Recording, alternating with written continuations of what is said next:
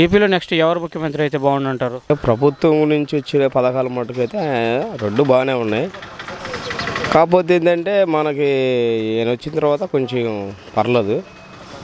పర్లేదు పథకం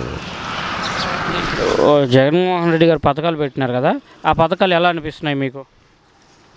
పర్లేదు. అమ్మఒడి పెట్టాడు స్కూల్కి బాగు చేపించడం అన్ని పథకాలు బాగానే ఉన్నాయి. పర్లేదు. ఇప్పటి వరకు పర్లేదు.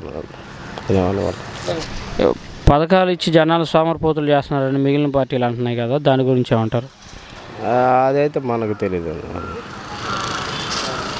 మరి వాలంటీర్ వ్యవస్థ పెట్టినారుగా ఎలా పనిచేస్తుంది?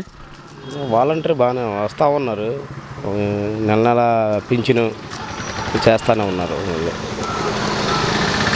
అంటే మీకు బియ్యం వచ్చినప్పుడు చెప్పడం కానీ ఇలాగా మీకు ఏదైనా సచివాలయంలో పనులు ఉన్నాయనుకోండి వాళ్ళు చేసి పెడుతున్నారా? చేసి పెడుతున్నారు. మన భీమ్ వస్తే మామూలుగా ఆండర్ బండి మీద ఆండర్ ఇస్తాడు. లైన్ లైన్కి వచ్చేసి ఆండర్ కొడతాడు.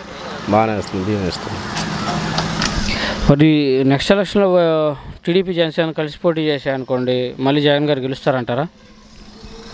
అది ప్రభుత్వం గురించి మనకైతే అవగాహన అనేది లేదు మనకి. ఈ గవర్నమెంట్లో ఉన్న ప్లస్లు ఏంటంటారు? ప్లస్లో ఏముంది జనాలకి కొన్ని కొన్ని ఉపయోగిక డోకరాలు అని చెప్పేసి ఈ అమ్మఒడి పథకాలు అని చెప్పేసి ఈ కొద్ది పర్లేదు. పర్లేదు. మళ్ళీ జగన్ గారు వస్తే మంచిదేనా అంటారా? అది మన అభిప్రాయం కాదుగా జనాల అభిప్రాయం కనుక్కొని మనం చెప్పుకోవాలి.